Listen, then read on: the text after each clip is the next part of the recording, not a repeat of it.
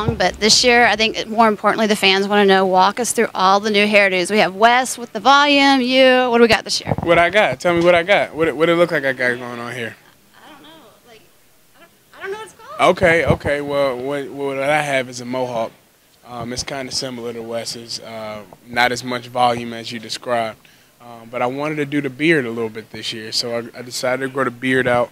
Um, Give you like a little like older, yeah, more mature type man. Exactly. You know, I don't want to, but I also don't want to look like I'm I'm not 22. I don't want you know the league to say, oh, like he's old. Like no, I'm young. I'm very young. I just happen to have great features that my mama gave me. So um, that's my hairdo. Uh, Dirk, he still has the Ellen. Um, yeah. Uh, D. Will, he's got his hair back. Oh, I noticed that. Yeah, That's so- a big, big. They said they lay he laid a mat on top of the ball spot, but um, JJ's tight. He has a you know JJ cut. stays with the tight Puerto Rican fade. Um, so that's that's real that's real nice of him. Uh, Dwight actually had a really nice really nice haircut, but he decided to cut it because it was a little out of control. Um, Bogut has the, the the simple cut.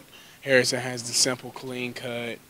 Um, I don't think we have too many hairdos. No, no. I was actually really impressed though with the personality and everything this year. Uh, on court, how you been doing all summer? Working hard, but in the gym, what's your summer been like? Uh, my summer has been very full. Um, whether it's you know training or spending time with somebody. Um, you know, I like to think of my rookie year in two parts. It's the rookie season, and then it's the rookie off season. And uh, finally, I feel like I'm finished with my rookie year because I went through the rookie off season where you're getting pulled in so many different directions, um, and you feel like you don't really have time to do so many things. It's either traveling or you're or you're working out. So um, I think I handled it pretty well. Um, next summer it'll be even better, just as this season be, will be better than last season. So um, you know, I think I have it overall. I think I had a great summer.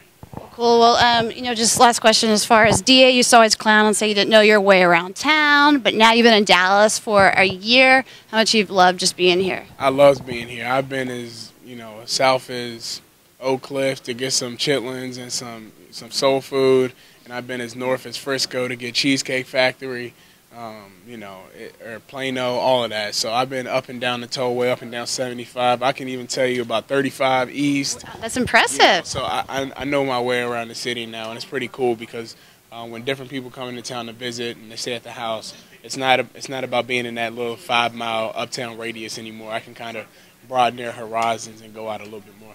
Awesome. Good luck this season. Thanks so much.